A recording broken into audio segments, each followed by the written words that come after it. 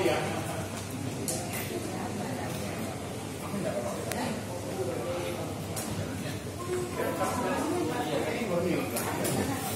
Di restoran nasional.